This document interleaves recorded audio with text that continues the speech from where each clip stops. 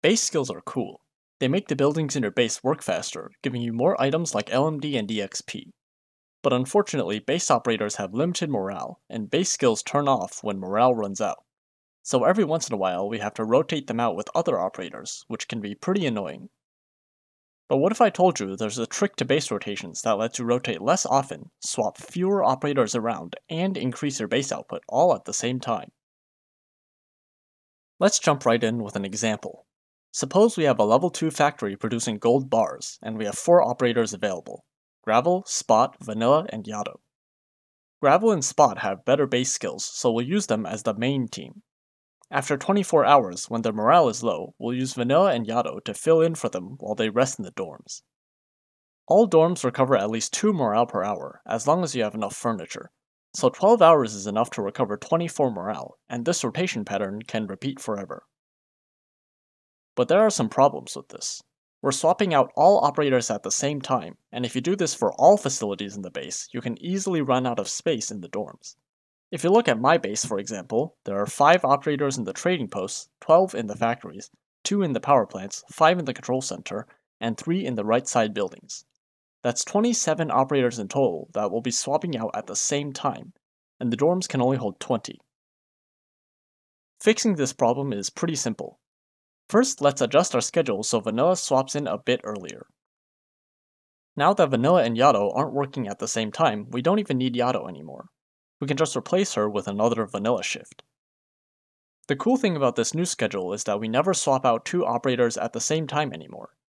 To see what I'm talking about, let's run this schedule twice, and rearrange it a little. Notice how after the first 12 hours, we replace Gravel with Vanilla, but Spot stays where he is. And 12 hours later, Vanilla stays where she is, but we replace Spot with Gravel. So in each swap, we're only sending one operator to the dorms. This strategy is pretty easy to use in practice. Every 12 hours, just take the operator with the least morale and swap them out like this.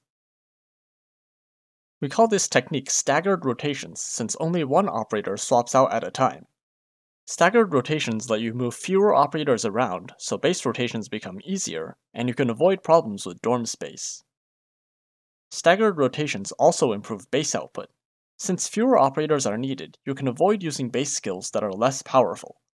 For example, earlier we removed Yato from our schedule by replacing her with Vanilla, whose base skill is 10% better. Staggering rotations like this works in any facility with multiple operator slots, such as trading posts and the reception room. You can also stagger rotations for two power plants by treating them like a single facility. Every 12 hours, swap out the operator with less morale and leave the other power plant alone. For trading posts and factories at level 3, staggered rotations work the same way. Morale drain is slower for these facilities, so most operators can work for around 37 hours at a time. If you swap a single operator every 12 hours, they will only need to work for 36 hours. This does mean that timing your rotations is a lot more strict, since operators will almost be out of morale by the time you swap them out. If you miss your rotation by more than an hour, they will run out of morale. But if you don't want to stick to a super tight schedule, you can swap operators out after 24 hours instead of 36, Every other rotation, just swap out two operators instead of one. You'll need an extra filler operator when you swap out two operators. In this example, we've added Deepcolor. But in exchange, you get 13 hours of flexibility in your rotations. Even if you forget to rotate your base once, your operators will still be working just fine. Alternatively, there are also operators like Mlynar and Chongyue who reduce morale consumption across the entire base, but I'll go over those later. Other facilities, like level 2 trading posts and factories, don't get the same morale bonus as level 3 facilities. So operators working there can't work for 36 hours, and you'll have to swap them out earlier. But this also means you have 8 to 10 hours of leeway in those rotations. So as long as you rotate your base twice a day, it doesn't really matter exactly when those rotations happen. There's one last problem with our strategy so far. A lot of base skills need to be used in combos for the best effect, and staggering operators like this can disrupt those combos. For example, Weedy and Eunectus work well in a factory together, since their base skills don't cancel each other out. But if we try to stagger them with a third operator, this filler operator will constantly get their own skill cancelled out. Instead, we can stagger entire teams of operators between multiple facilities. Let's set up a second factory with another combo, Bubble and Vulcan. If we don't use staggered rotations, we'll have something like this, where we swap four operators out all at once, so we need four filler operators. Just like before, let's adjust this schedule so Vanilla and Steward swap in earlier. And now we can get rid of Yato and Meteor by using Vanilla and Steward again. So all the same principles apply. Now we're only sending two operators to the dorms at a time instead of four, and we've improved our base output since Vanilla and Steward have better base skills than Yato and Meteor. This technique also works for trading posts and for level 3 facilities. For example, here's a schedule for two trading posts at level 3 that I once used myself. Shamare and Jaye's teams are more powerful, so they stay in for longer, and the Penguin Logistics team fills in when they need to rest. Before I end this video, let's go over a few base skills that can benefit base rotations in general.